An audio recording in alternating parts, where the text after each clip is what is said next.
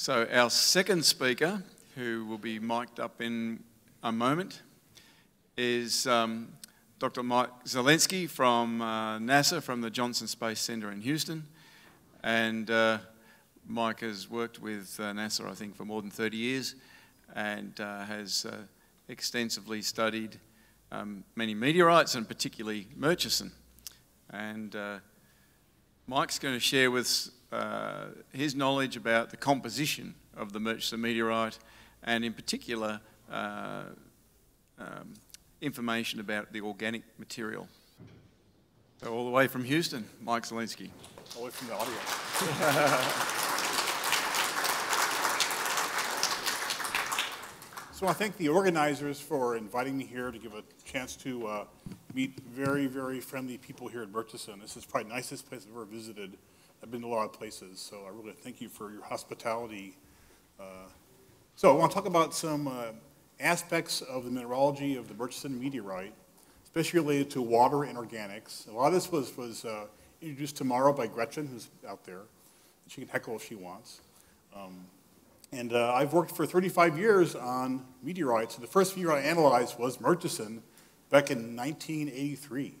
It's a long time ago. Um, and again, I specialize in the record left by water and recently organics in that meteorite. And so uh, I'll go kind of rapidly here. I have a very short talk to give. But these are different kinds of carbonaceous chondrites. Murchison is a CM chondrite. And the basic mineralogy of these chondrites. And I won't say much about this except that there's quite a varied mineralogy there. There's the, miner the primary minerals that Phil talked about that formed in the nebula or before.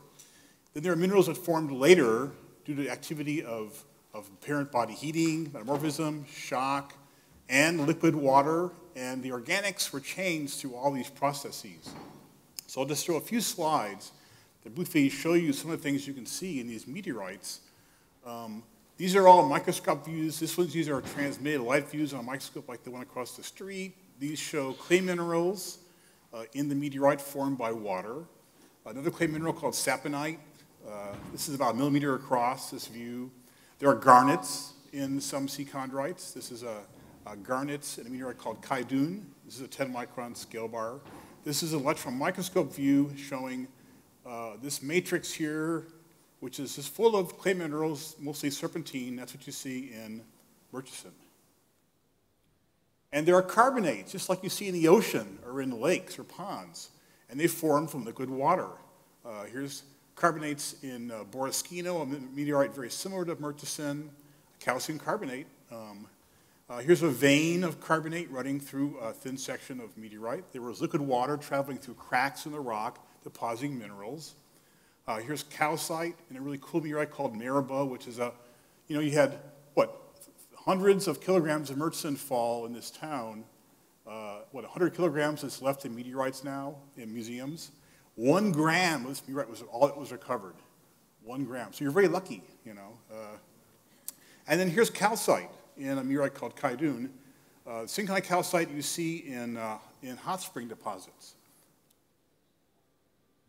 And as you might expect, these minerals often form from material, liquid water, and there's actually droplets of liquid water in these meteorites. It isn't just water in clay minerals, it's actually liquid water droplets. They're, they're called aqueous fluid inclusions. You see these in all kinds of rocks on the earth. And here are little droplets of water. This is in, these are all in, these are in Murchison. Here's a droplet of water here, here's one here, here's a droplet here. These are all tiny. They're a few microns across. There's a bubble there that floats around in there. Here's a whole series of fluid inclusions in a calcite grain. Um, here's, a, here's one here. It's very hard to see. A, crummy picture here. They're very tiny and hard to spot, but they're there. And they're, they're nanomoles of water, really tiny amounts. And we're just barely able to, to analyze these today. There are sulfides. Um, here's uh, pyrrhotite, pentlandite, uh, really cool sulfide uh, texture here. Um, there are these weird mineral called tochilinite, which uh, I, I, just love this mineral. It's really cool mineral. It's a layered sulfide phase, which occurs on the Earth very, very rarely, maybe like five localities, but it's very, very common in Murchison, and no one knows why. Um, and there are really cool, weird minerals. Uh, this is a little clast in um, the Maribel meteorite, which is similar to Murchison, with apatite, calcium phosphate, and magnetite.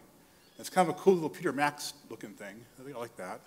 There's uh, gypsum, sulfates. There's weird metals actually formed during aqueous alteration. There's a vein of a metal that formed during aqueous alteration. Then there's actually halite, like you put on your, on your chips, right? Sodium chloride, salt that you find in some meteorites. And you have organics. And uh, Gretchen talked about this, and so did Phil. They're quite rare in most meteorites, but in Murchison, you're talking about several weight percent of organics, which is a lot of carbon. And people have found uh, dozens of different organic compounds in Murchison, but they're very low concentration individually, but there's a lot of them. And overall, the, the concentration is on the order of a couple of weight percent of carbon by organic, which is an awful lot. But the fact you have so many different kinds of compounds reflects the different processes that have affected this meteorite over the last four and a half billion years.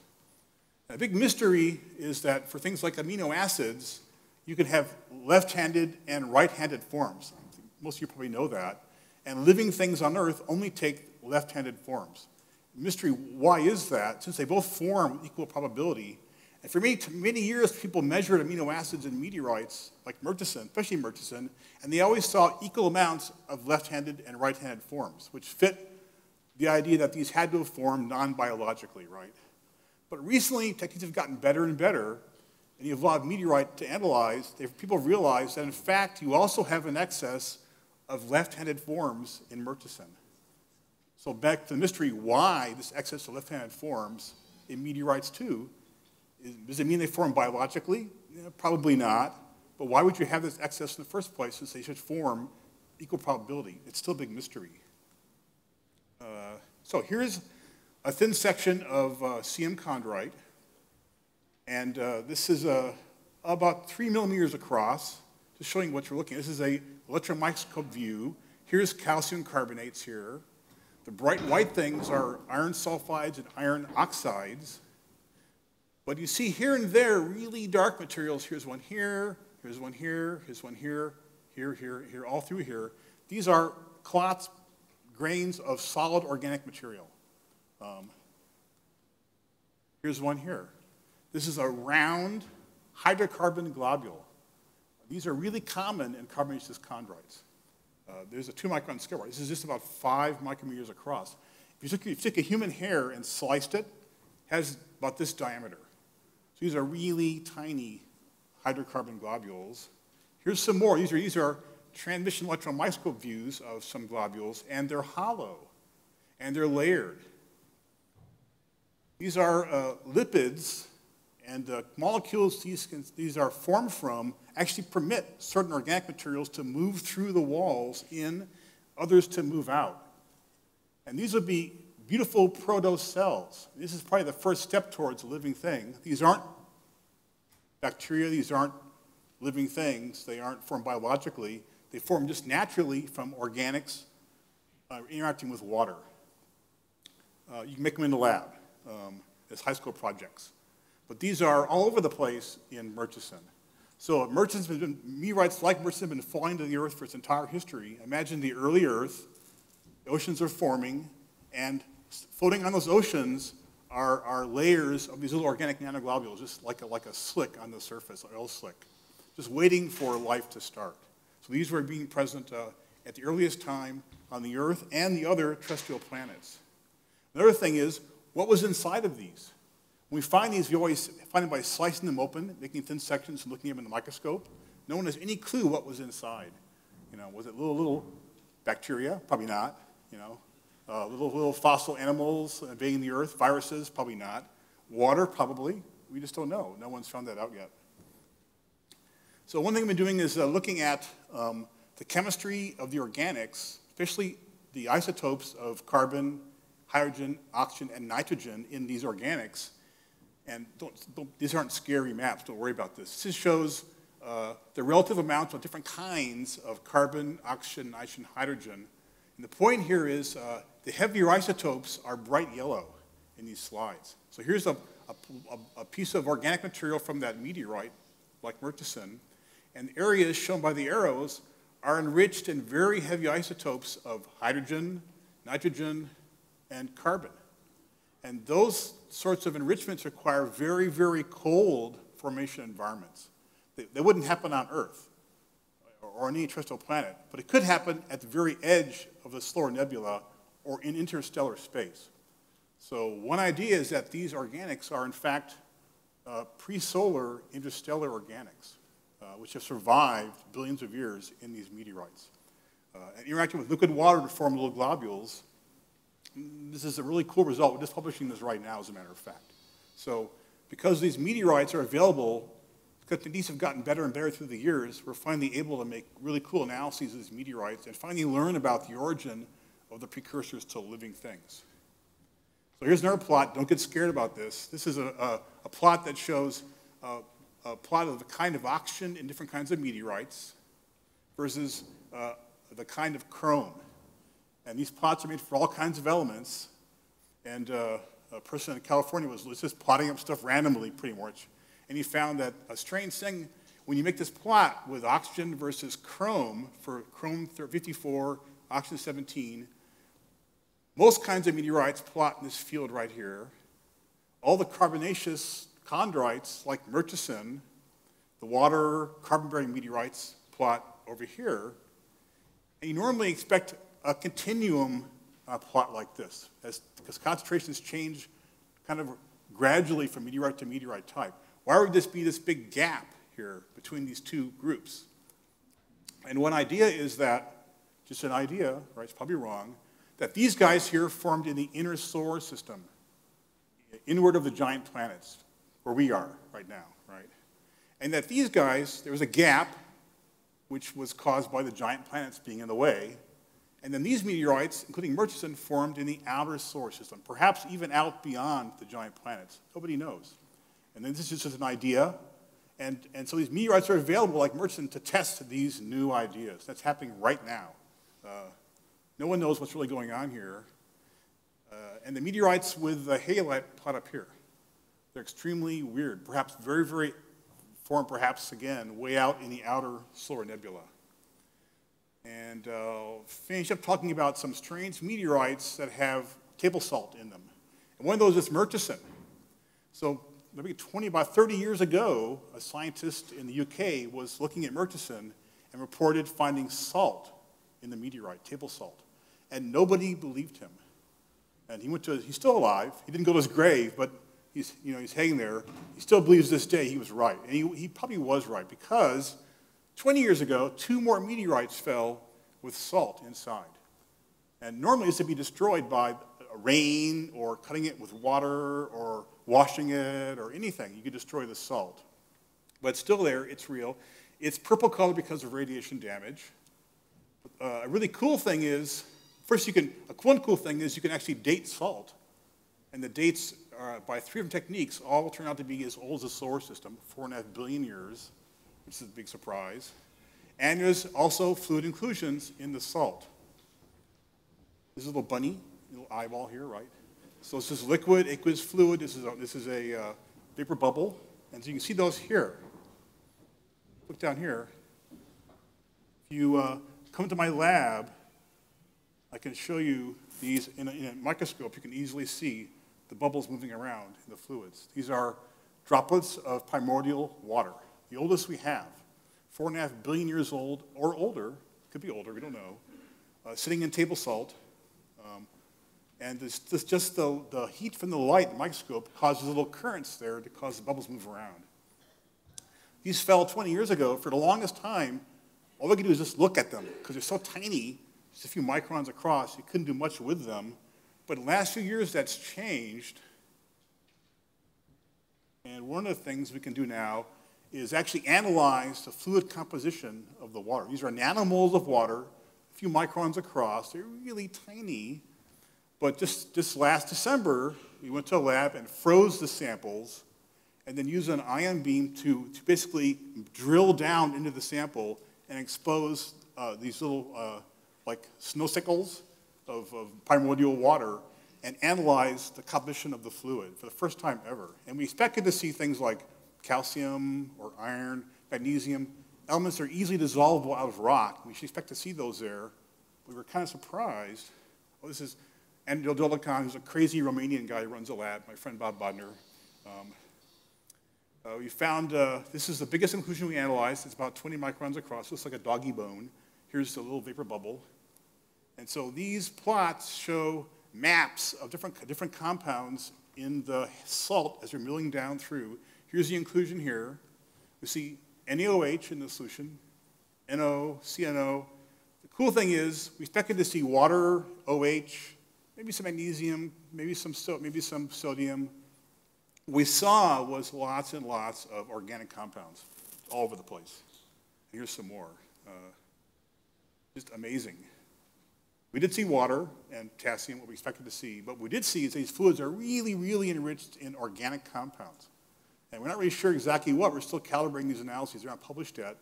But the result is we, we now know, big surprise, that uh, these fluids that we're seeing observed meteorites contain not just water, but a, a, huge, a huge abundance of very complex organic compounds. And this technique actually tears the molecules apart as you analyze them.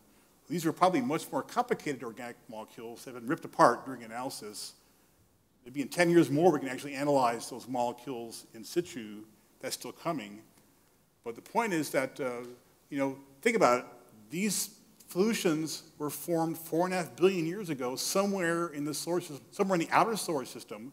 It was liquid water, room temperature water, loaded with organics. So there were environments in the earliest solar system with abundant, abundant liquid water at room temperature, this temperature here, right? Rich in organic precursors to life. You know, where were those places, right? Did life start there? We, we don't know. And it's, it's, I, it's likely these samples, identical to these, are in the Murchison meteorite because people found halite there, just didn't believe it. Go back and now and look again, I'm sure we're going to find them. These materials were definitely being carried to the early Earth, probably the precursors to life on Earth, but they're also being carried to Mars, Venus, and the moons of the giant planets, where we see water volcanism today. Here's Enceladus, the sixth largest moon of Saturn, with modern salty volcanism today. And so in the subsurface of these giant moons, there are potentially life-forming environments right now. And so uh, it could be like our, you know, our relatives here. But certainly Murchison is your distant relative. It's like your great, great, great, great grandparents. I mean, the water in your body and the organics in your bodies all came from, probably from meteorites just like Murchison. And so just think about that. Thank you so much.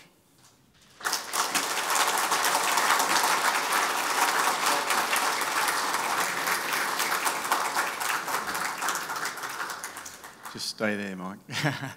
um, questions, anyone? I might actually come around and, and give you the microphone. Yes, thank you. I was interested in the purines and pyrimidines because they're, of course, the building blocks of DNA and RNA. And which ones were, were found? Both, uh, all the ones in, in, living organisms were found in Murchison and more besides. So uh, all the amino acids that you see in living things are present in, in meteorites. But also a lot of other amino acids that aren't, aren't used by living biological systems are also there as well. They're all there. No one's seen DNA or RNA. Think about it. These rocks have been exposed to radiation for billions of, for millions of years at least, if not longer. So it's really amazing that any amino acids survive intact anyway. If there had been things like DNA or RNA, it probably been long ago have been destroyed. So the fact we have such complex organics surviving makes you think, gee, what else might have been there before that's just been destroyed by radiation? And these halites have been, they were purple and blue colored because of radiation uh, causing changes to the structure. It certainly affected the organics as well. John? Mike, what do you think about the rumours that they're starting to catch some pretty weird fish in the uh, Waranga Basin? yeah, we worry about that. You know, when, the, when we first saw halite, I mean, it was hard to believe it was really there. We hadn't somehow contaminated the meteorite. So it was very reassuring when we, when we would do date them and find they actually were too old to have provided it itself. Um, Question up here. Um, given the, the relatively small amount of carbon in the, the gross mass of the meteorite, do we have an indication of what caused its smell when, oh. it, when it came into Earth? And was that intrinsic to the meteorite? Or was it a combination of um, perhaps atmospheric gas dissociation due to thermal shock combined with the, the meteorite components? I think, I think it was all of those things. Um, and partly it was due to sulfur-bearing compounds too. So we had another. I'm not, I have no experience of smelling Murchison and smelling compounds, but there was a similar meteorite that fell in Canada 20 years ago called Tagish Lake. And, I, and those actually fell during winter on a frozen lake, recovered still frozen. And some came to my lab still frozen. We thawed them out, and there was this really strong smell.